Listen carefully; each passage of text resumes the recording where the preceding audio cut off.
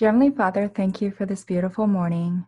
Thank you for allowing us the privilege of coming before you as your children to worship you and to remember your goodness and praise you for all that you have done and all that you are in our lives. We lift up this time to you and ask that you would give us ears to hear and hearts of understanding. And please be with those who cannot worship or do not yet know you, Father. Um, help them to understand um, the mercy and grace and love uh, you have given us through Jesus Christ, your Son. We pray for our country. Uh, please protect us. Please heal us and help us to be a nation that honors you. Help us to uh, remember this July 4th weekend that we can only have true freedom when we surrender our lives to Jesus Christ. We thank you for all the things that you give us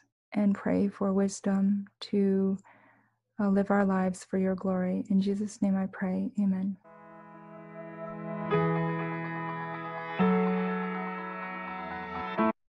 Merry Christmas, everyone. Ho, ho, ho. What? Christmas isn't until December? Well, that may be true, but this is what we call Christmas in July, where we stop and pretend ever so briefly that it's Christmas time. As you know, this summer, we're taking a closer look at faith.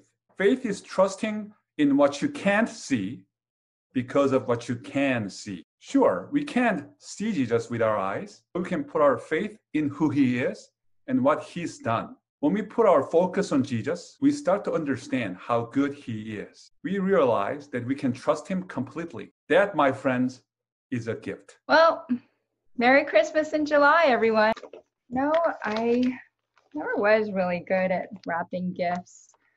Ah, um, man, looking at these other perfectly wrapped gifts, they just make me feel a little bit insecure. You know what I mean? Just, I feel like embarrassed. I mean, look at this one.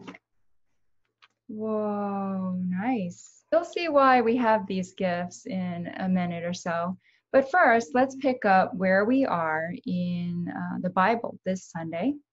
We're talking about what happened with the people who uh, believed in Jesus after Jesus died, after he came back to life, and he went back to heaven.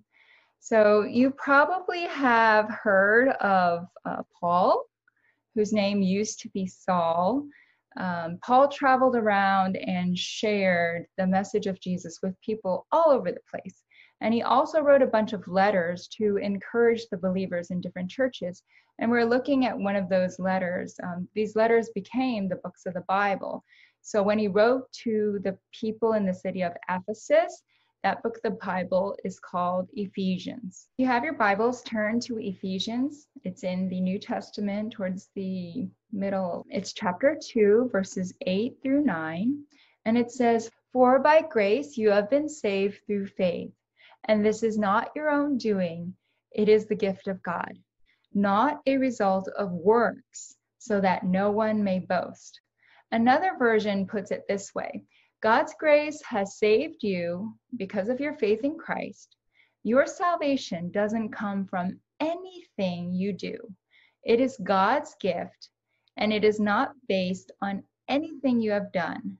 No one can brag about earning it. You know, I bet the Ephesians really needed to hear that. I know I do. You see, we all mess up, right? We all make mistakes. We all fail at things we don't do the things we know we're supposed to do, and often we do the things we're not supposed to do, and that can make us feel pretty crummy about ourselves. Not only does it make us feel bad, it separates us from God, and at the end, it leads to death.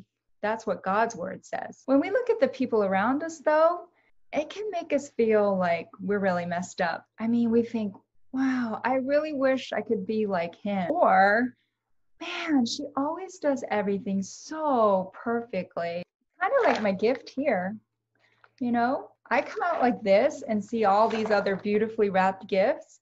And boy, I'm so embarrassed about my wrapping job. And these other gifts may be the way we see our friends.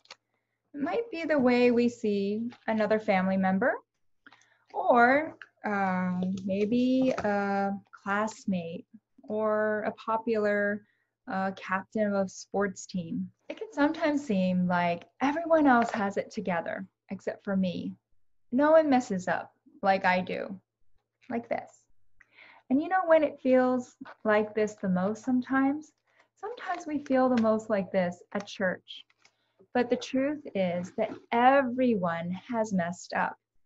And even though other people may seem to have everything all together and seem to do everything all right, that's just not the case. See, look at my gifts here.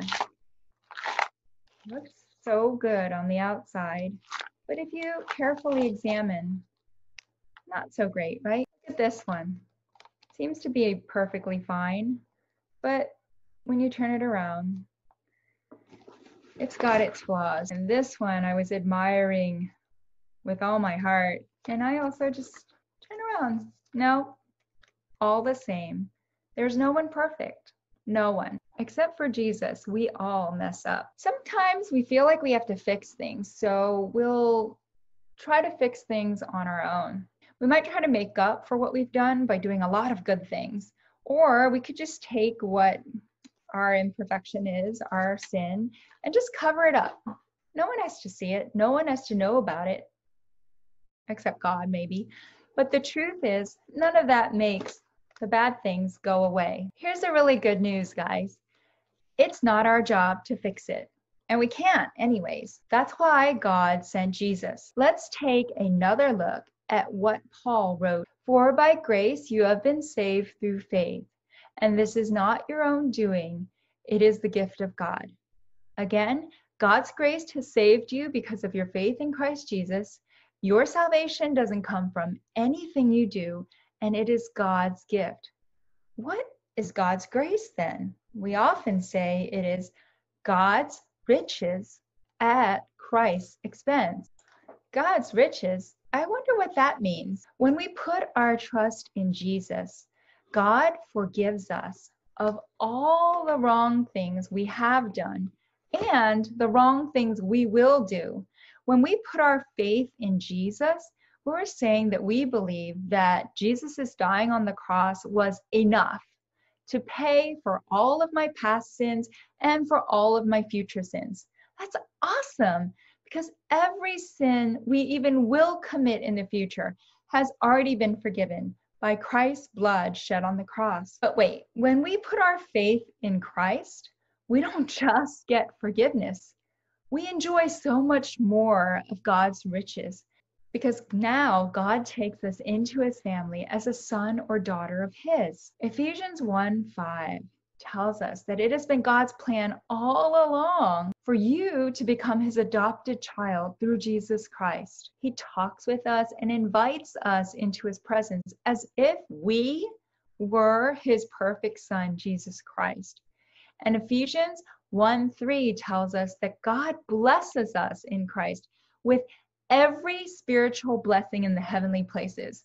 Every blessing. Whoa. Do you think I know exactly what that means? No, I don't completely, but it sure sounds good, doesn't it? And as I spend my time reading God's word and talking with my Heavenly Father about anything and everything, and experiencing what the Holy Spirit is doing around me, changing my heart and changing the lives of people around me, whoa, then I start to understand more and more of what these blessings and riches are in Christ and what it really means now that I'm an accepted child of God. Now that I don't ever have to worry about losing my Father's love, no matter what. It's like this. Recently, I went to Niagara Falls uh, with my family. Now, if Niagara Falls was just a dripping faucet, do you think my family and I would have traveled seven hours to see it? I don't think so. We had heard it was beautiful, and it was. It was amazing. I don't think I can find the words to express what it was like. I can show you a few video clips, but you had to be there.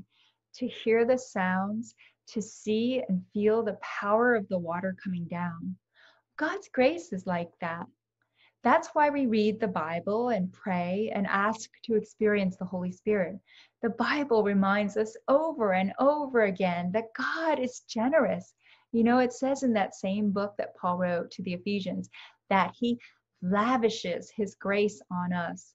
Lavish means to give generously or in a ridiculously large amount.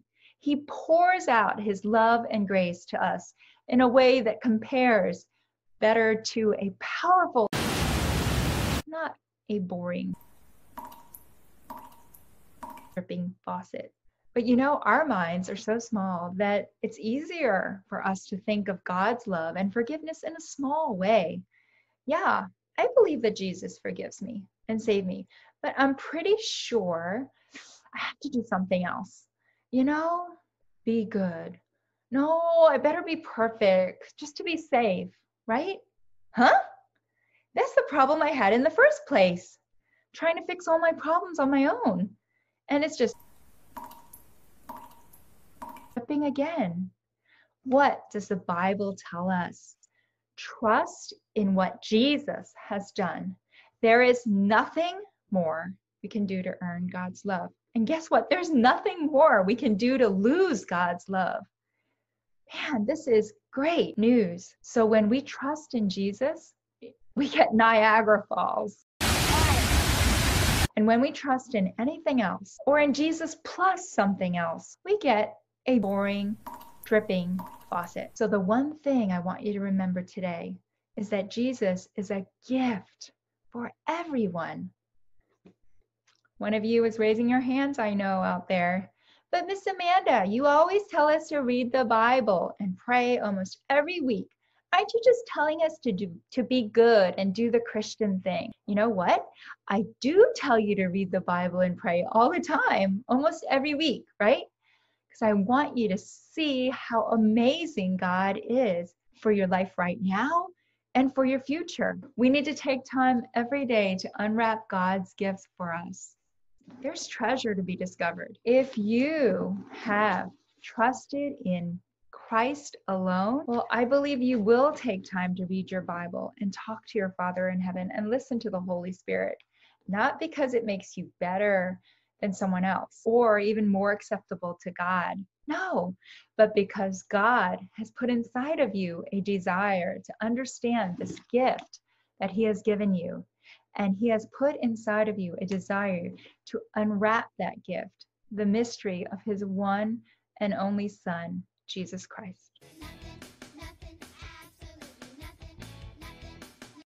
Dear Father God, thank you for this time. Please help us to understand uh, what your word says to us about your love, how permanent it is, and how uh, boldly we can approach you because of the precious blood of Christ that was shed on the cross. Pray for each of these children to give them the understanding that they need to grow in faith. I pray that you would just be with them throughout this week, keep them healthy, keep them prayerful in your joy and in your grace, Lord God. Thank you for being our God and Thank you that everything you tell us is truth and life. In Jesus' name I pray. Amen.